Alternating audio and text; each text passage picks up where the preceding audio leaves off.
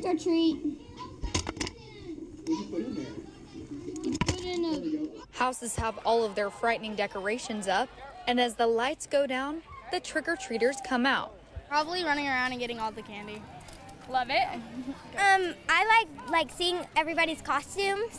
Yeah, because like some of them are like really cool. Uh, I like to look at everybody's costumes and just collect as much candy as possible. Families fill the streets looking for some sweet treats. Candy and walking out and trick or treating with candy. Some trick or treaters show me how it's done to get the most candy.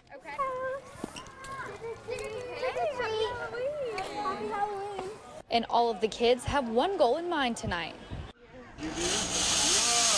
Candy! and visit as many houses as possible. Um, a lot.